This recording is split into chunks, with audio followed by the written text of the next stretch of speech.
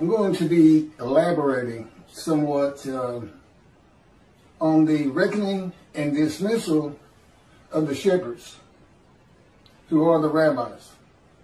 And I'm going to get into that, the definitions themselves, what this means, and, and in part why God has done this. One thing I want to make emphatically clear, since I hadn't heard one word from a rabbi, and I'm quite certain, as a group, maybe not all, as a group, they had no idea there'd be a reckoning and a dismissal by God. They would not enter the scroll of remembrance, which means they don't see God's heaven for the Jewish people, which is something you do not want to miss. Because they just talk about the Messianic era. All of a sudden, Moshe perfects the world. Everybody loves the Jew and exalts him in the world the world speaking Hebrew. And the sole existence of mankind becomes to know God. Nations love nations. Things that simply cannot happen. And what do they leave out? How about God might hurl your glory to the ground or utter destruction if you don't recognize Elijah you know, you're praying for Moshiach every day. One, you don't know you're about to get dismissed when he comes. And two, you completely ignore utter destruction if Elijah is not recognized. He clears the way for the building of the temple, which is God's purpose that might prosper. Don't build it, utter destruction will come someday. Build it, and you will never be defeated and dispersed again. Who should you be looking for? I mean, what does David do? He brings the reckoning and dismissal of the shepherds, the rabbis. That's what David does primarily. And with him comes uh, God's grant of a covenant of friendship, which differs markedly, absolutely refutes a messianic era. God says things like, there'll be a planting of renown when I come with Moshe. You will no longer be the taunts of nations. That, that tells you one thing. The nations aren't exalting you. You're just not being taunted. Why? God's in his temple again. And they're not quite sure if it's true or not. For the most part, that would be the majority. Uh, and of course, the covenant of friendship, well, that is the covenant of friendship. No longer dispersed. You will not be defeated, dispersed. The temple in your midst. The world will know God sanctifies Israel. That's what you get. You don't get perfection throughout the world. You don't get exalted throughout the world. If that's what God had intended, this is where he did written it. In the covenant of friendship. It absolutely refutes it. You got utter destruction. Malachi 3. You got your glory hurled to the ground. Your power. Um, if you don't assist God in recognizing me. That's what it says he's saying, you know, uh, who is this coming from Edom? Gentile lands, Christianity. Who's this? You know, the peoples no one listen to him, and he's not happy about it, and he says it, I think it's verse 3, could be 4. He's stunned that he's not getting a response. Particularly, and I know why now, the mountain of evidence that has been presented to the Jewish people on these videos cannot be surpassed by any other man to come. I'm either him or he ain't coming. Which is it? God said he was coming. God's righteous servant. What was David? A servant who was righteous. Who was Elijah? Servant who was righteous. Who was Moses? Servant who was righteous. Who else? Who are we missing? God's righteous servant. One description, four righteous servants. I am all four men. I, I just reposted it again. I have a verse by verse commentary solely showing how I and my life fits Isaiah 53 and explaining it. Explaining what he was wounded for our sins means. No man has ever been able to do that before me. Certainly not Tovia Singer with his absurdity, uh, an absolute absurdity. Six million Jews die and then a ram a ram guilt offering. That's not even all of Israel. That's about one third of Israel at the time. Nobody got long life. It looks like Hitler's the one who made the sacrifice, and he didn't get long life. No one's made no one is made righteous because of it. It's an absurdity. Okay, he couldn't come close to interpreting the true meaning and the way to um, to make this understandable. Isaiah 53 is in large part a snare. Okay, God knew the Gentiles, the Gentiles were going to take your book one way or another. And he set them up. He set them up for the day of the Lord. And he set up the rabbis too. He knew you were going to be practicing the Messianic era. All of these are proof as I straighten all this out, putting forth what he wants Judaism to be. This is what God wants Judaism to be. Not what Rambam wants it to be.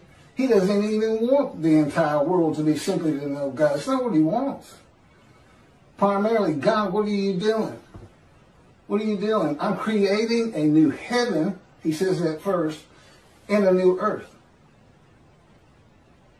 What's new about the heaven you're creating? What changes? I'm going to have a new host of angels, the angels of Israel. And I want every Jewish, all of my children to go through the same thing they've all had to go through anti-Semitism, racism, bigotry, uh, having to uh, survive on a planet that simply does not like them. That's what he's looking for. That's the angels of Israel. You got your own unique personality. 613 laws. Okay, about 200 of them were animal sacrifice, and that was done away with by his prophet. God said, I don't want your animals anymore. Yet Tovia Singer, thinks he wants a human being. You're not supposed to add to or take away anything from the Torah. And when you see you're about to do it, you better ask yourself, where am I wrong? Where am I wrong to add a human being, much less six million of them? And, you know, let's go on Christian. That's what they did. Let's put a human being, an unblemished lamb, and we'll be sin free. I don't know what, I don't know what your guilt offering did for the, for the Jewish people who become the righteous servant. No, the righteous servant is for the day of the Lord. He has to have a Moses, a representative. It could be an Elijah or a David. But he's got to have a man. Okay? I fit it to the T. That my Isaiah 53's been out there for over two years. And I get nothing. Don't tell me these people like Tovia and Jews for Judaism haven't heard some rumblings. I can't say exactly what. God doesn't tell me things like that. He'd never tell me what another person's thinking. He won't tell me anything to happen in the future. If I can't find out an answer of my own, then I don't find it. They don't give it to me. You know. But, uh, oh, uh, one of my first lessons, and, and, this is for the rabbis who think God, this can't be, or he's not David, uh, we're not reckoning with him dismissed. They just want to pretend it's not there. Yeah, you're not going to heaven. Okay? That's every rabbi on the face of the earth. I would include religious leaders. Matter of fact, if I had my way, and I don't, I'd include the government because they're leaders. But let's get to this first. Because y'all don't know God like I know God. I've been with him for 13 years in the fire of refinement, punishment, chastisement, maltreatment, crushing, bruising, wounded. And it is constant and incessant. I will say this, I couldn't see it for about five years, but it has changed me. I am, I am such a different man today than I was. When this thing started, I was no more capable of handling the tasks that are before me since it's clearing the way for the building of the third temple. Just talking in front of people. I was a lawyer, but I was a book lawyer. I didn't like talking in front of people. Matter of fact, I can't remember a time I ever had. I wasn't sociable. I just, uh, I was a loner. All that's different now with God in me. The Spirit of God, you know, I'm in my spirit and my spirit's in me. Guess what? God's in his spirit, his spirit's in him. It's the same thing. And his spirit is the angel of his presence. He made an angel, created an entity, a person in existence with emotions. For his body, he did not give him human form and wings. No, His body is the Spirit of God. So if God comes to you, or the angel of the Lord comes to you, you are, for that time, a man of divine beings. Now, the man uh, who wrestled with Jacob, that's just, God just saw a fellow near Jacob, woke him up, told him, I'm the God of this land, Abraham, Isaac, and Jacob. I have something for you to do. And it's all to do with God. It's instant. You know who he is. There's no, huh? Who's it is? There's none of that. You, you say, okay, let's go. I'm ready. What we doing? He's a man of divine beings, but he was just one night. So he didn't go through much of a fire refinement, if any. I mean, he had to wrestle all night.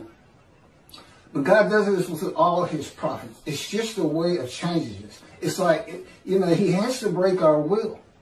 And he can't have me snapping at people. I was known as a fighter. And, you know, if you said something to me that I didn't like, I didn't respond verbally to you. I just, I just hit you. I just laid into you. Fight on. Nobody talks to me like that. That's fellow I was. And that's, God said, this was taking so long. because it's got, the last three years have been the worst out of 13. Going on 14 now. It's, you know, as he says, it just takes more to get the response out of you, the, the small change that I want out of you. I, and I'll tell you, I'm ready. I am flat out ready. And what is the problem with your people? They don't know who you are. When you say utter destruction is coming, you're not fooling around. Here's here's what you know. You kind of get uh, one personality of God in the Hebrew Bible. You know, it, it's not far ranging. But what he showed me is based on the following. This is one of the first lessons he gave me. And anybody can, can look at this. I don't have my glasses on. I'll get through it the best I can.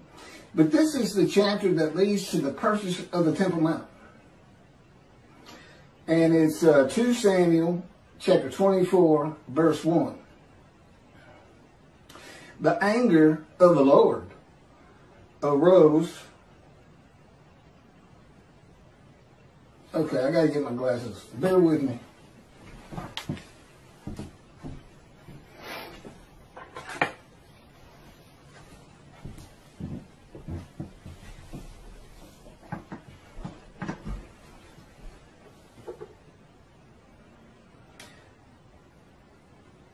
the anger of the Lord again flared up against Israel. And he incited David against them, saying, Go and number Israel and Judah. That'd be the northern kingdom, kingdom of Israel, sometimes the kingdom of Ephraim, the largest uh, tribe landowner, immediately north of the lands of Benjamin, which is a partition between uh, Ephraim and Judah. And Benjamin is considered part of Judah because that's where the kings rule from. Go under them. Apparently there's some, there's some problem in taking the census. I don't know what it is, but uh, he incited David to do it, and then he put him into a three-pronged test. Do you want me to come against the people? do you want me to come against you? And one other one. And he said, let it be against the people. Let no man take me. And God did. And he kills uh, pestilence. And 70,000 had died almost immediately. Now, did God just go down and kill 70,000 uh, Israelites? No. He takes the credit for it. It just makes him look mean and tough. Listen to everything I say. The pestilence was already there. God could see it. He knew it was coming. And he does this a lot. He says, I will come with utter destruction. No, his creation is going to utterly destroy Israel. I would suggest, he won't tell me, I would suggest we're talking nuclear bombs from Iran right now. Someday. And they'll do it. They will do it if they get it. In any event, that's how Oh, and it's interesting. The numbers are different. The census numbers are a little bit different from what I'm about to read in um, 1 Chronicles. And so is the amount of money paid for the Temple Mount out of David's pocket, is what he makes it sound like, but I'm sure it was the kingdom's money. I would think so. I, I don't know why he'd have a separate side job or anything. If you'll turn to 1 Chronicles, chapter 21, it's the same story. It even says it's the same story somewhere in here. Maybe it was a footnote. Uh, Satan arose against Israel and incited David to number Israel. And then you get the same story. You know, David David realizes what he did was wrong. See, he incited him. He didn't go tell him. He went to a prophet who told somebody and this and that, and then David was all uh, wanted to be in repentance and was sorry he had done it. And again, I don't know why it's bad. Um, they, they won't tell me. I've asked them right before we started this. they just, eh, they'll know. So, um, what, what, what, what is, what do we have here? Satan inside of David and God inside of David in the book of the prophets and in the writings, in the writings, it's Satan. First of all, Satan doesn't exist. Judaism doesn't believe in hell, and they shouldn't. There is no hell. God's got, you know, if you don't heed and revere him, if you sin all the time, he just doesn't pay attention to you. He knows his creation. He knows what humanity does. He knows what humans are. He knows there's no stopping that. And, uh, I don't know, you might, you might say, didn't got a special place for Hitler? and answer is, he tells me no. I just don't, I don't think about him. He doesn't mean anything to me. But why is that in here? You, you would want to say, well, if I had to go either way, I say, uh, uh, one, one Samuel is who you go with because that's the book of the prophets. And I, I'd agree with that, except God wrote this whole book. He had a whole thing written. It's not just Torah. don't forget that. It's not just the Torah dictated to Moses. If you, uh, the book of Ezekiel, just assume Ezekiel wrote it. Might not be the case, might not be all of it, but, you know, just go with that. Whoever the main character is, they wrote it for God.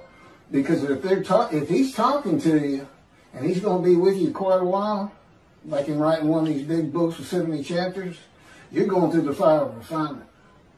Moses went through the fire of refinement. You know how you know? Because it breaks your will. It makes you humble. It, it, it, it takes anger out of you that you used to not be able to control. We started with Moses. He killed a man. He was so angry. He was getting into fights. Then he runs away. He, he doesn't he doesn't account for himself. He doesn't ask Pharaoh for for for uh, he, he doesn't repent. He runs away. He doesn't take account for his own actions. Not a good person. At the end of his life, it is said in the Bible, Moses was the most humble man on earth.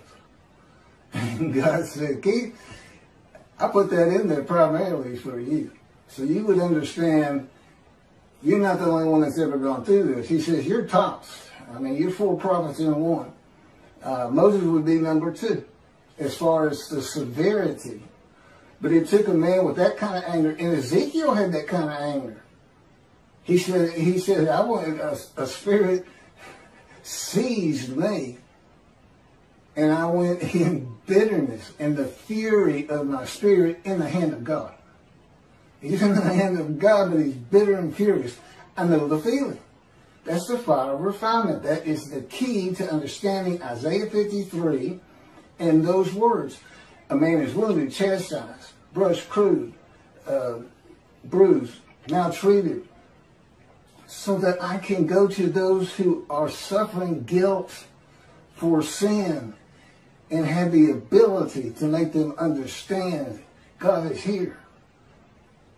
Go to Judaism. Be observant.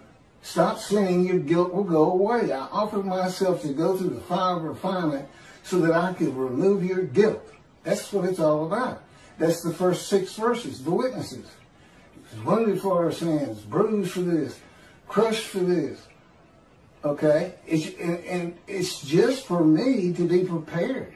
Now, he didn't even ask Ezekiel. He didn't have to ask me. You don't say no to him.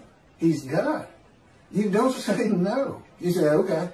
I've said, okay, a million times, I believe. But, so to, to explain this, God says, just imagine a scale with the most, the, the finest, goodest, nicest, kind, merciful person you could ever meet. And down here, put Satan, the meanest, most vile, uh, brutal, doesn't care about your pain. And he can go all through it. Okay? He, he, he literally decides what emotions he's going to have. Now, I'm in the fire refinement, and I call this the black hat, this the white hat. This is what he taught me. And we have a lot of good times in here. I mean, there's a lot of white hat, and the Holy Spirit's always in the white hat. Uh, he can be a troubler sometimes, but you know, it's kind of set up by God, where He sent to incite things. Uh, and, and, then um, the black hat. This is where he is with me most of the time. It's fire refinement. But we get over here. We get over here. Uh, the point is, he's not just uh, listen to what I say or I'll put a pestilence on you. Uh, you don't stop sinning, I'm, I'm going to exile you. Uh, I'm going to take your temple. He, that would be someone over here. Not necessarily to Satan, but he said that's why that was written that way. So I could tell you about it. But he's really, I mean, when he's flat out in the middle, he, he, I just love that personality. It just does me well. So um, he, he wants me to tell the Jewish people about him. And my, you know, my story, there's a lot I can't get into. I mean, he told me two things right off the bat. One, I don't care about your pain.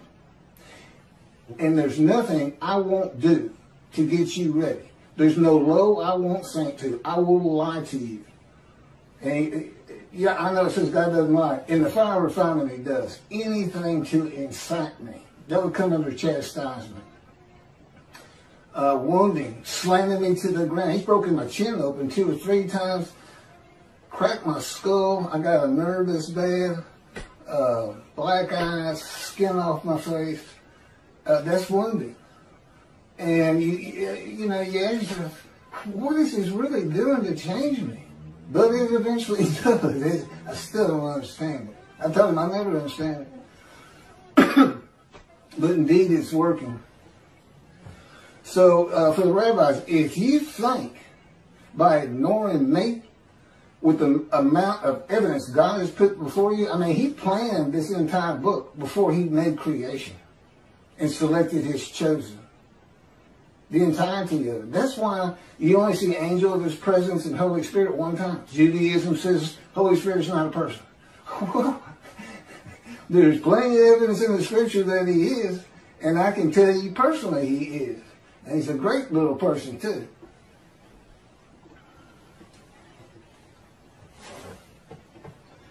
But let me carry on. It's nobody, he's not, I guarantee you. If Tovia Singer and Jews for Judaism was sitting back there going, well, you know, we make money. Oh, that's what they wouldn't say. We make money on Isaiah 53. Or we can't say we're wrong because of your arrogance. And the, the ignorance that you show in your commentary just defies logic to me because God told me from the get-go you know, I was an atheist for 50 years, had nothing to do with religious people. He said they're very intelligent um, uh, people. Uh, Judaism is, is well based, on the ground, all makes sense. This is what he told me in the beginning. And since then, I learned a lot different. I don't think much about their capabilities at all. Remember, I'm a prophet. God taught me. God controls my mind, my thoughts, my words, my physical motions, because I'm in the cords of his power. He can spin me like a top if he wants, slam me to the ground. He can make me, he can make me shake like a leaf. so that when I try to eat, I can't hold my food on the utensil. I end up having to use, take the bowl and put it, yeah, just embarrass you. Uh, you know, I think you're really humiliating me. It is maltreatment, but I can tell you, I sure don't like you doing it. And he's done it, he'll do it with my legs, where you feel you're going to fall down. Sometimes I dread walking down the steps when he's got me right in the midst of, um, he, he calls it a three day thing where you, you know, which is at least once a week, if not twice. That's the kind of thing I'm talking about. And eventually that kind of treatment, maltreatment, changes you. And it also makes me, you know, I know what I've been through. I know the pain I've been through. And I'm not even counting the accidents he put me through, being shot, giving me cancer, you know, shot through the abdomen. I'm not, I'm just talking about since he came and started talking to me when I was 50. Um, well, let me go over this reckoning again because apparently it's just not getting through. And if those particular rabbis aren't listening, I, get plenty of views. I mean, I guess 4,000 now or something, which is nothing for the big boys. But, you know, I'm not a, a rabbi.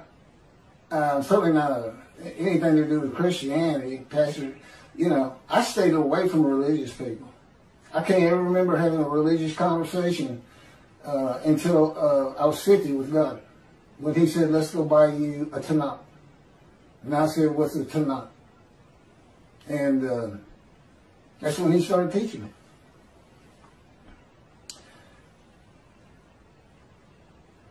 Thus said, apparently this, I don't know. I don't know their answer to this. I'd love to hear it. Why don't you know about this? Thus said the Lord God, I am going to deal with the shepherds I will demand a reckoning of them for my flock, and I will dismiss them from tending the flock. Then I will appoint a single shepherd over them to tend them. He shall be a shepherd to them. I, the Lord, will be their God. My servant David shall be a ruler among them, not a king ruling over them, among them in the Mishnah Torah, Rambam's got two chapters on King David, and he's making every bit of it up. He's thinking, what would the Davidic dynasty be like today? And off he goes. None of it's in the Bible. None of it. King Moshiach will study Torah all the day and all the night. Mm, no, he doesn't. Not even close.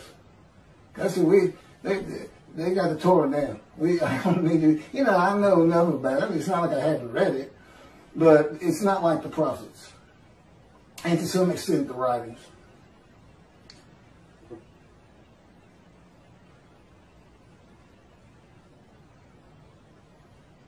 My servant David, he shall tend them. He shall be a shepherd to them. I, the Lord, will be their God, and my servant David shall be a ruler among them. I, the Lord, have spoken and I will grant them a covenant of friendship. Again, it is so far removed from the Messianic era. Uh, why don't why, why don't the rabbis recognize that? You won't be the of nations. You won't be defeated and dispersed again. His sanctuary amongst you, the world will know he sanctifies Israel, a planting of renown. That's it. That's what happens when Moshiach comes. You tell him I said so. You, if you, if it looks like I'm a little, I get a little hot about this, God controls my emotions too. And that's how he wants them to hear it. And never forget, he can speak straight through me. As a rule, he's always speaking through me since he controls my thoughts and my words. But it's always based on my personality. He can change that. He can change that. But if you're not a believer in a, a man divine being, it doesn't help. You just think I'm putting on an act. Um, I mean, I've had conversations with him where I'm looking into a mirror. Okay? And when you're talking to people, you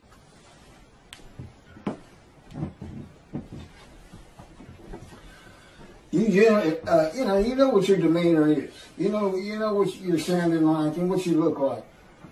And I'm looking at a mirror, and again, according to His power on me, I literally had a conversation with Him, and I'm looking in the mirror, and that's not who I am in that moment, and it's not what I sound like. And you know, he, this is my lessons. I have lessons all day long, and I have for 13 years. I mean, he's doing something with me all the time. And, and, primarily, again, it's controlling my mind is based on my capacity as Elijah to teach you how you can think in heaven. Your spirit reads your mind. Okay, your mind takes in, you know, your mind's just electrical impulses, little chemicals, different tissue, and it just, it takes in what eyes can take in and what ears can take in. Your person is the spirit in you. Spirit and soul. And um, together, spirit and soul form a person. Uh, the soul's kind of like the DNA of who you're going to be.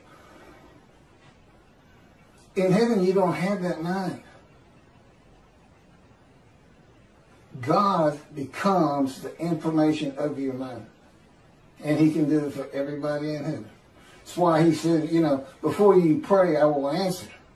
Just because he's the one having you think, I'm going to pray.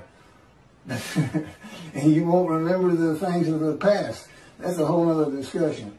But I have all of that information because I'm Elijah. There's a reason he took him up specifically and nobody else and sends him back. It's a further proof of who I am outside of the fact I fit every verse of Isaiah 53, outside of the fact I'm the only man who's ever been able to explain Isaiah 53. The fact that despite your greatest minds, Jews for and Tovia Singer, and everybody else who makes commentary on it, have never been able to figure it out. You can't figure it out if you're not the righteous servant. And I couldn't see, I read it the first time, I said, what is this? I said, who do you think that is? I said, I had no idea. he said, that's you. I said, okay. this is in the verse two years. I can't remember exactly when. Okay, now these words are used. My servant David shall be king over them. Be one shepherd for them all king, prince, shepherd means leader. That's what it means. I won't be getting to that. Just leader. This is words of leadership. It's not a Davidic kingdom. God, God knew all things from the beginning, and He knew when He had the day of the Lord, Israel would be a democratic, free country. There's no place for a kingdom. You know, you want a kingdom, go live in Saudi Arabia. They shall follow my rules and faithfully obey my laws. Thus they shall remain in the land which I gave to my servant Jacob, and in which your fathers dwelt. They and their children and their children's children shall dwell there forever, with my servant David as their prince for all time. That would be the line of David. You know, through Solomon. Solomon had the same covenant with God. And, and, this is this the first people to read this are in antiquity. They understood and prince. And, and back then, I, I, mean, I can't fault Rambam too much, uh, but today we, we know better because it's a democratic country. It's just that not Middle East, I guess, has got the most kings and kingdoms uh, anywhere in the world. But anyway, God knew. He knew Rome was going to destroy the second temple the dispersal would, uh, would occur. The diaspora began, which is away from the promised land. And he knew they weren't going to just come back of their own, but that, and he didn't cause it, despite what Tovia Singer says, but that the world would drive them back one day. He knew it was going to be ugly. But, you know, he said, well, why didn't you come help? why didn't you come back? You're not supposed to be out there. You got to learn your lesson. There's some black cat there. You see that? Don't forget, he is a celestial being. He is not human. He has emotions, but he can actually operate his emotions, whereas we can't. Uh, we can't to an extent.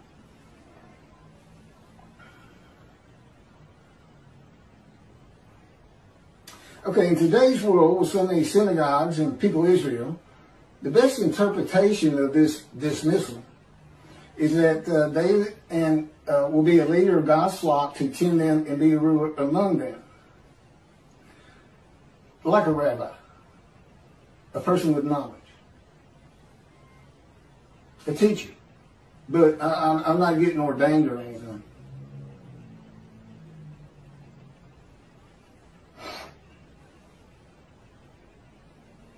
Okay, reckoning. This is what reckoning means. It's the avenging or punishing of past mistakes or misdeeds. Teaching Messianic era. I mean, you're just not putting your thinking hat on. That that was for antiquity, Middle Ages. But the, you know, uh, resurrection of the dead, the thirteenth fundamental principle of Judaism by Rambam. We believe in the resurrection of the dead. Do you really? Do you really? Are you telling the truth in that prayer? We've gone through the age of medicine, science, knowledge. We know you cannot resurrect a human being from dust. They have to be conceived and born, period. And there's never been a virgin. A great. You should hear God's, how he uh, tears that apart. That woman with child, Isaiah's concubine, he's married to the prophetess, and this child, Emmanuel, doesn't learn right from wrong until he's nine years old. My question is, why isn't he Jesus? If his mother is a virgin, why isn't he Jesus? I'm going to put it to the, I got, I'm going to be the greatest anti-missionary of all time, particularly though, because eventually the many and the multitude are going to be telling the world who can believe our report. That's him. Who is the arm of the Lord been revealed on? That's him. He knows too much. It's impossible to deny what's happening here. It's impossible to deny that there are rabbis who have heard me and are ignoring it. What about Elijah? Rabbis who ignore? Because I'm Elijah too. What about that? You want to bring? You want to be responsible for utter destruction? How many? How many? How many millions you lose in the Holocaust? Six million. How many Israeli Jews do you have right now? Well, seven million. You ready to up the ante on that? How many Jews can we kill at one time? You're not going to recognize David. You don't get you don't get the covenant of friendship. And it doesn't go into. I have both covenants. Sin forgiveness in Jeremiah 31 that puts Torah on your heart, and uh, friendship. And God wrote when He was dictating to me uh, the book Isaiah 53 the day of the Lord. He actually ha- has it stated that when these books are published, the covenants go into effect. Well, as you can imagine, I can't get them published. And it has to be a big time publisher who can distribute worldwide and market worldwide. Because all Jews have to read it and know they're sin free in the Holy See. It's part of also being Elijah come back to Judaism. And the righteous servant, 53, makes the many righteous. Well, in effect, I've already done that with the covenants when the books are published. If there's any rabbi who'd like to step out of dismissal and see the heaven God is creating, contact me. I'm easy to talk to. I was a lawyer for over 20 years. Had clients, you know, come in, had to be friendly. Yeah, I said I was antisocial, but in a business context, you know, it wasn't, it wasn't a big deal. I, I knew my parameters, so to speak. Uh, come forward and help me. Uh, you're a servant of God. If you're a Jew out there, you're a servant of God. Be proactive. Anything you can do to get me recognized, anything you can do, and, and understand this, this is supposed to happen according to Jeremiah. The land lay desolate for 2,000 years. Now the cities have been renewed, restored, Jerusalem rebuilt, the land blooms again. That's what it says. And it says, then I'll, I'll bring a new covenant to you. Huh, new covenant. You know what Rashi says? New covenant commentary. The angel is the angel of the covenant you desire. There's only two. And daily brings uh, friendship. So we're talking about uh, the covenant of sin forgiveness to make you a holy seed, just like God did with the Assyrian Babylon exiles to have the second temple built. This is to have the third one built. You got a clean slate, but if you start sinning, that covenant didn't do you any good at all. So, you know, my job is come back. Don't let the evil inclination get you, so to speak. You got a clean slate. Honor God by coming back to observant Judaism. See, I got all kinds of pulls um, to help refill the synagogues, to grow every year instead of decline every year. And part of it is you got to change things like a resurrection of the dead. A time when the Jews are exalted. You know what you do? You make them lazy. What happened to never again? Never forget. You got utter destruction on the horizon. I have no idea when God might just say, that's it. I, have given them enough. They won't respond. I'm, I'm, I'm leaving. And utter destruction will come to them. You never know. You're servants, his servants. You're not the righteous servant, as Tovia Singer and Jews for Judaism, Michael Skobac, and whoever actually did the commentary, that absurdity they both put out there. Hey, Michael Skobac bases his whole commentary on an exaltation of the world of the Jew, the Messianic era. His whole commentary is based on something that will never happen. Never. You know, these religious people. I don't know how they do it. You know, I believe in it. I believe in the resurrection. Oh, you believe in millions and millions and millions of people suddenly appearing in Israel? Who, who's going Who's going to feed them? Who's going to put food on the table for them? Hey, guess what? You, you're going to have slave Israelites from Egypt. you know what God says? If you see a slave Israelite from Egypt, you know what you're supposed to do? Run run and get a gun quick. They'll kill you. These people were savage. They still weren't cooking their food back then. Slaves. No schools. Nobody around them school. No, nobody listened to. Believing in all kinds of gods and this and that from Egypt. Yeah, they're suddenly going to appear. That's what they say. Every single Jew who's ever lived. You got six million from the Holocaust. What are you going to do with that six million? That's just that's just four years. It's the most. You're going to lose the young people. You know, they're always looking for fake news. I guarantee you, if I if I sat down at the synagogue when I was a young man, and I didn't, of course, I'd have gotten up and walked out right in the middle of it. You're saying what? You think every Jew who's ever lived is not to uh, cut, rise, old bones, rise.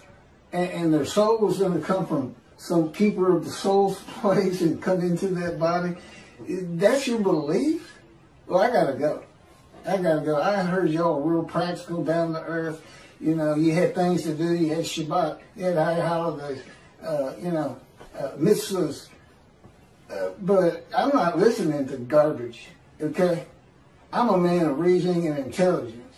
The people in antiquity, Middle Age weren't. And that the, all those things that you come up with, uh, swords into plowshares, you know, that was for a time gone by. That men will always be at war. Period.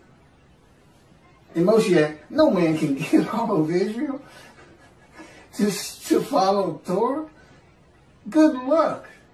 Only about 30% of them are even observant. You know, secular. God wants that straightened out. He wants a practical religion for the chosen, and He wants the world to hear about it, and it helps me take the wrath of God to Christianity. Lift me up. I'm the man of Isaiah 53. And, and where does that come from? Chapter 51. I'm going, I'm going to take my bowl of wrath, my, my cup of reeling, and I'm going to take it from you, my people, and I'm going to pass it to those who told you to get down on the ground and walked all over you, walked all over your back, something like that. Okay, what happens next? 52 comes up. That's where, that's where the righteous servant of Isaiah 53. That's where the description starts. 13 through 15, and then all of 53. Do you see the connection there? Wrath's coming. Now, how does that match up with Moshiach coming? And a Messianic era curse?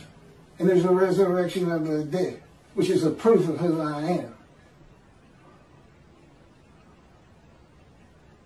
Where's God's vengeance? Where's the doom upon the nation in Psalms 149 and in Psalm 149 ending in 150 with an exaltation of the Lord, which you can think of as we're building the temple again. And by the way, it doesn't have to be on the Temple Mount. It's got to be on Mount Zion. Uh, two things. One, it's not big enough for what God wants. He'll give me the plans when necessary. It's kind of like, you know, getting the plans for um, the tenant meetings or, you know, anything. He'll give it to me. I'll give it to the right people. But they got to recognize who I am. Yeah, you believe in the Messianic era, but, but, but you rabbis, you rabbis, God's got to force your hand. That's what this is about. He's forcing your hand. And he's putting the destruction of Israel on your shoulders. And I'm not going to stop talking about it. And how you ignore me. You can't find greater just because it's not your faith. He says there's not a resurrection of the dead. I can't listen to him. I've never heard of the reckoning and dismissal. They're arrogant and they're ignorant. To me. Now, regular society, they're real intelligent people. They can fool the flock, who are just aimless sheep. They can't fool me because God's in me. He won't let it happen. And so I can incite them.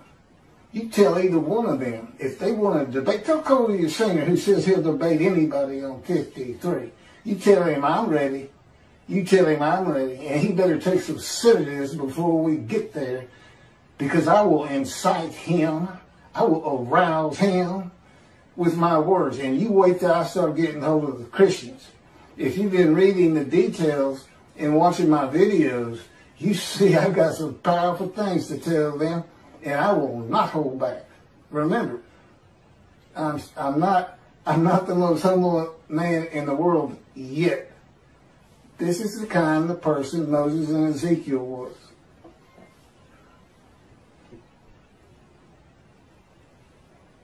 Reckoning, the avenging or punishing of past mistakes or misdeeds. It's not just the Messianic era. How about these two, Tovia and Skobac Jews for Judaism. I can't imagine they really believe what they're saying. They probably had to work and work. How can I explain this part? How can, you know, Tovia, Tovia Singer's, it just scares me because in the beginning, I really thought so highly of him. Years and years ago when God started teaching me, I mean, listening to the radio show, and uh, I was learning things from him. He's got a lot of knowledge. But his capability of reasoning is at the level of antiquity, where there was no reason. Everybody lived on emotion because you, you learn how to reason in school. Maybe he just went to a yeshiva and, and didn't have to, to figure out math and other things that, that, that teach you. You don't use it, but it teaches you to reason. Okay, I got to get off this thing. Why is shepherds a metaphor for rabbis, in case they think there's a little wormhole there to get by this. Well, shepherds doesn't necessarily mean rabbis. Yes, it does. The term rabbi in the original Hebrew means a teacher. In pursuing that calling, individuals have responded to the various needs of their Jewish community. In addition to the literal meaning of the word rabbi, Jewish tradition views the three Hebrew letters of that word to represent an acronym. The abbreviation translates to shepherd of the children of Israel. The shepherd is the dominant leadership, remember leadership, king, prince, shepherd, is the dominant leadership metaphor in the Hebrew Bible. The role of the shepherd was a cornerstone of the Hebrew economy as sheep provided key staples of wool, meat, and other commodities. God's choice of the shepherd as a leadership metaphor made sense for a nomadic society dependent on sheep, goats, and cattle. Okay, the question, why all of the rabbis, even those without flocks, those who don't say anything about a Messianic era, still part of the religion they call their own? God is not pleased with the teaching of the rabbis of the day of the Lord, which is none, and their reliance on the opinions and commentaries of the sages and rabbis from the ancient age and Middle Ages. There are many inconsistencies and errors in what the sages and rabbis say and what the scripture says. And of course, they had not gone through the age of science, medicine, knowledge, uh, communication with the internet. There's a whole different group of people. You got to know how to read the Bible. Tovia, Jews for Judaism. It's written first for antiquity in the Middle Ages. There's things in there just for them. There's plenty for the day of the Lord. And never again, never forget what the world will do to you if you don't heed God's prophet. And what they'll do you point even if there's no prophet, and particularly if there's a prophet, because God, God is performing this video, God himself. And I'm sure that's a strange concept to them. They don't know. And that's why they're so arrogant. And just remember what God says he's going to do to the Christians. I will pull you down from your cliff dwellings for your arrogance. Yeah, he doesn't care for arrogance. He doesn't care for it a bit. He doesn't care for people who ignore his prophet. Remember, I say, you know, okay, so oh, God cares about everybody, loves everybody. You haven't lived with him and gone through a fire refiner. I feel like he absolutely hates me a good bit of the time. Because I feel I'm ready. I feel, why? How, how much more can you change me? And, and it's like, are you the most humble man on earth? Yeah. So he can be funny. I shouldn't laugh and, and give him, you know, the okay on that. It was kind of funny. That may have been the Holy Spirit. God says the anointed one is a shepherd, king, and prince of the flock, not of the promised land and all his people and perfecting the world. Rambam removes God's word and places it, replaces it with Rambam's word that the anointed is the king of the lands and people will have a kingdom basically ruling the world. That's what it sounds like.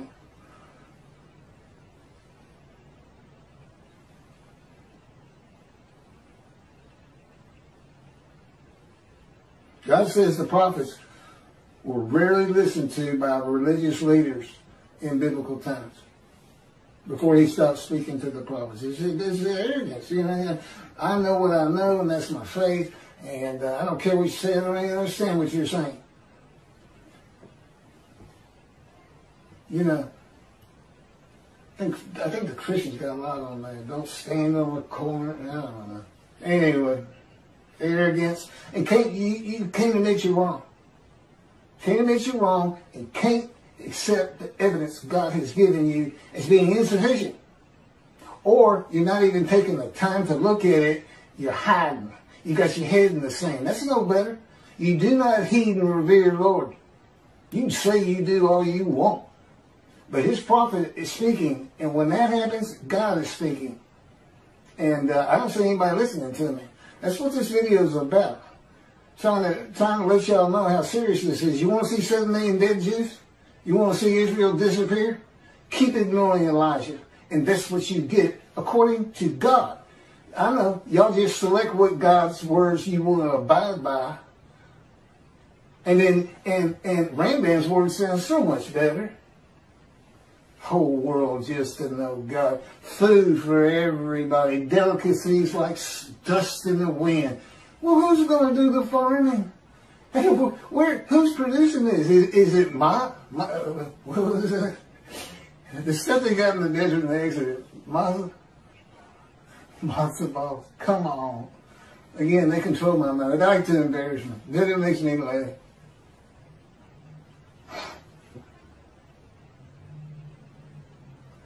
Okay, all this comes from God, by the way. Interpreting and teaching what God actually says will not bring in many donations for the reason that the flock will want to know why God is going to have a reckoning with them and dismiss them. They will want to know what the sages and rabbis have done to anger God. The rabbis must learn how to read God's book. the Hebrew Bible. The two books he dictated to me explain what all that means. They must be they must be read and taught to remove the dismissal. And and if you're not a leader, if you're just an observant Jew and you go to synagogue and all this and everything, tell everybody you know. You're a servant of God. And his words come from me. This is when it's supposed to happen, unlike Jesus, who prophesied five times when he was coming back, and every one of them, every one of them was false and failed. He didn't come back. He's gone. He's a myth anyway. He doesn't exist. Don't, and if you see a Christian and they want to ask you what you think about Jesus, tell them he's a myth. Don't don't tell them, oh yeah, well he was fine. I hear this all the time. He was a fine Jewish, uh, learned man. Uh, we, but I don't believe that he died for my sins. No, don't do that. He's a myth. He's not real. God has an excellent argument on that that is put together in the book and is also on videos. It has to do with the scenes of the uh, Dead Sea Scrolls.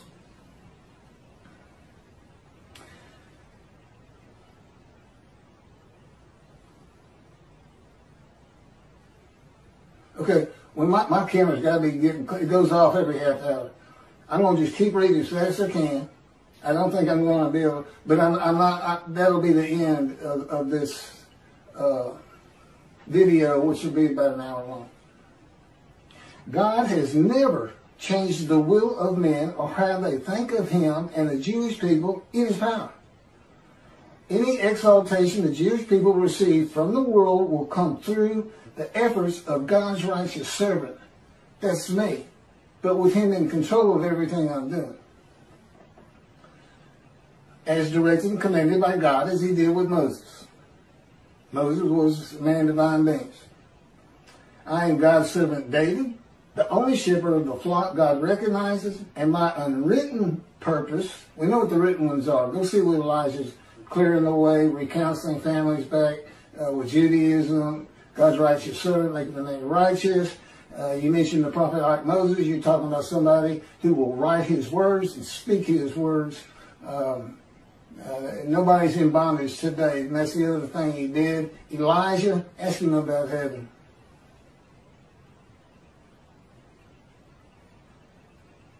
And my unwritten purpose is to teach the matters of the two books he dictated to me, to tell my stories of living with God and the angel of his presence, the Holy Spirit, what it is like to become a man in divine beings, a host of the Lord's host. There'd be unwritten purposes, and I'm sure he's got plenty of others. The rabbis had yet to heed me. I hadn't heard a peep out of them. Here's a man declaring he's Elijah. Utter destruction comes if they don't recognize me, and they don't want to speak to me. They don't want to get them books and read them. I know, I know Toby had for the most part because nobody from Israel has read them. I'd be too embarrassed. And in, in, in, in his arrogance and his popularity and stardom, he's not even checking it out. Total disregard for utter destruction and death of today, 7 million Israeli Jews. Utter destruction. It doesn't leave room for, yeah, some might get out. Good luck making it over to Europe. if they're going to make you, they're going to have you surrounded at the same time. It's about time they read uh, God's books. It's scripture. It's not canonized. It may be one day. But it's scriptures divinely received, verbally given to me. Keep go to your computer, write this down. There was a whole lot of learning that went in between that.